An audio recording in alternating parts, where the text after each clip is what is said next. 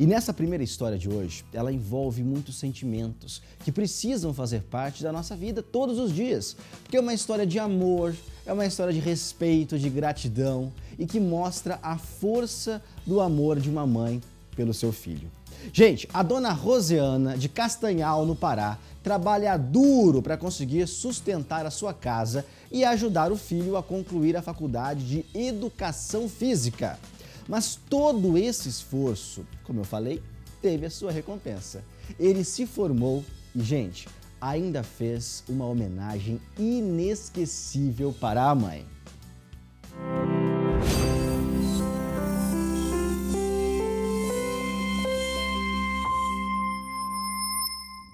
Vivemos em um mundo com quase 8 bilhões de pessoas. Em meio a essa imensidão de gente, vamos até Castanhal, no Pará, conhecer e contar a história do Henrique e da Rosiane, mãe e filho que emocionaram muita gente. E eu que no dia das minhas fotos de formatura fiz uma surpresa para minha mãe. Claro, eu não poderia deixar de homenagear essa mulher,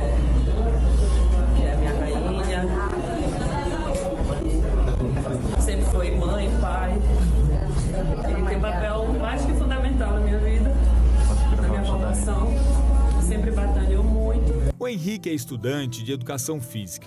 No dia das fotos, para o álbum de formatura, ele decidiu fazer uma surpresa para homenagear a mãe. Eu te amo muito.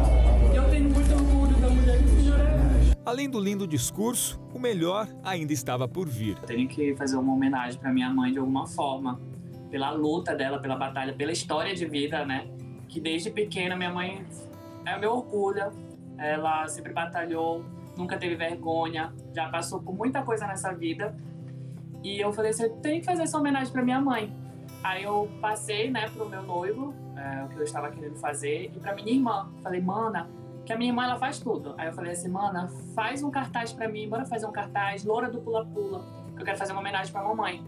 Aí ela falou assim, mano, tem a nossa camisa que a gente trabalha lá na praça, por que tu não usa ela? Foi batalhando,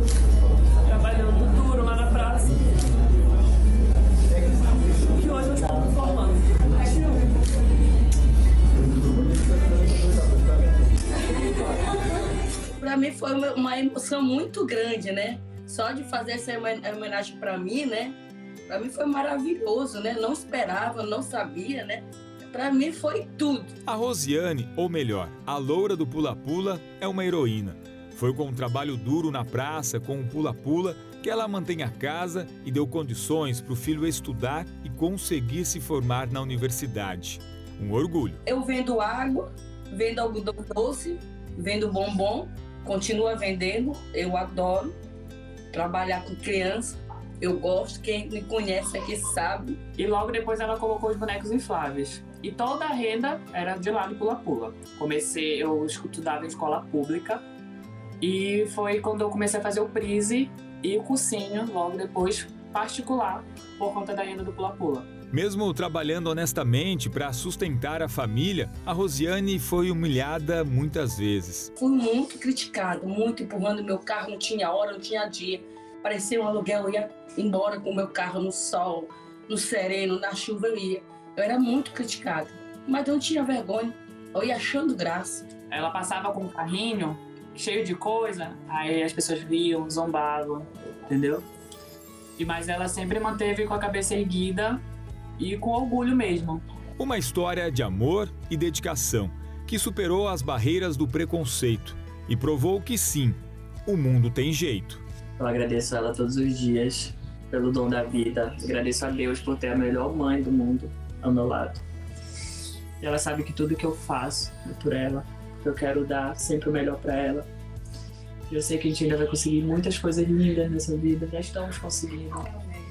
E eu tô tão feliz porque a história dela está podendo é, ser vista por tantas pessoas, está inspirando várias pessoas também. Eu já recebi tantas mensagens lindas.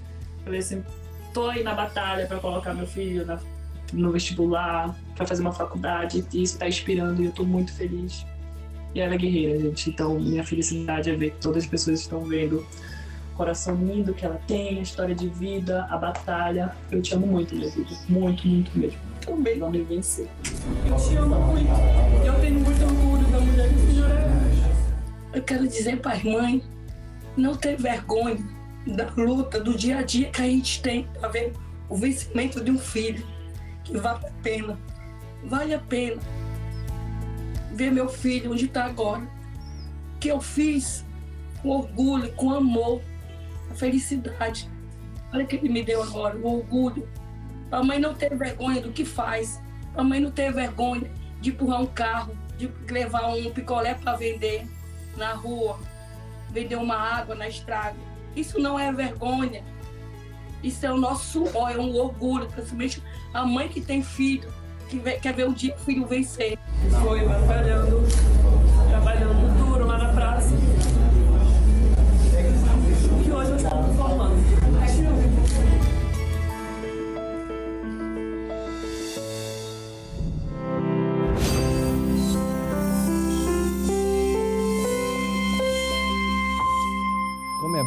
como é bom mostrar que o mundo tem jeito. E olha, dona Rosiana, ou a loura do pula-pula, não é? Eu imagino, viu, a dificuldade que a senhora enfrentou para conseguir ajudar seu filho nessa batalha, não é? Que foi dia após dia, de sol a sol. Imagina, a, a cada real que era conquistado desse trabalho, não é? Cada momento em que a senhora abriu mão de comprar algo para a senhora mesmo, né? A senhora pode estar precisando de muitas coisas, mas abriu mão disso porque o dinheiro tinha que ir para a faculdade do filho. É, gente, o Henrique ele foi muito nobre quando decidiu fazer essa homenagem. Ele conseguiu demonstrar o tamanho do orgulho e do amor que ele sente pela senhora, viu? Isso ficou muito claro para nós também nesses vídeos, nesse vídeo e nesta reportagem que nós fizemos com vocês no ano passado. Mas, mas, como a gente sempre diz aqui, tudo pode melhorar. E olha só, gente, agora, em junho de 2023, nós recebemos um vídeo do Henrique e da dona Rosiana, porque nós queremos saber o que aconteceu com essa família um ano depois que essa história viralizou em todo o Brasil. Então vamos cá, vamos cá, vamos ver como eles estão. Olha aqui. Oi, gente, é uma honra estarmos aqui novamente no programa. Já se faz quase um ano, como passou rápido, né? Relembrando aqui o porquê de estarmos aqui novamente. Bom, há um ano atrás é, estávamos aqui contando um pouquinho da nossa história e da viralização do nosso vídeo, é, onde eu homenageei essa minha rainha aqui, nas minhas fotos de formatura, em agradecimento por toda a ajuda dela nos custos, por todo o apoio. O que aconteceu depois desse um ano? Finalmente me formei. Por conta da pandemia atrasou muito, né, as minhas aulas, tudo. E eu me formei agora, esse ano de 2023, dia 16 de fevereiro. E o ano que se passou foi um ano assim muito gratificante para todos nós, de muitas conquistas, muitas realizações pessoais. E foi um ano assim maravilhoso, inesquecível, tanto para mim quanto para minha mãe e para nossa família. Muito inesquecível, muito lindo. Fiquei muito feliz. Outra homenagem que ele me deu, né? De chamar como Paranifa. Com certeza. Outra homenagem, lindo, lindo mesmo. Estou muito feliz por tudo. Até hoje, pessoal, me dá os parabéns, me abraço. E fala que a homenagem linda que o filho me deu. Agradeço muito a Deus. Muito obrigado mesmo. Obrigado, filho. Te amo. Obrigado a todos por bem na hora, por essa oportunidade.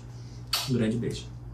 A gente que agradece vocês por terem contado essa história pra gente aqui no nosso programa. Vocês viram aí que na época em que nós exibimos a reportagem, ele ainda não tinha se formado, até por conta ainda de, de questões da pandemia, não é?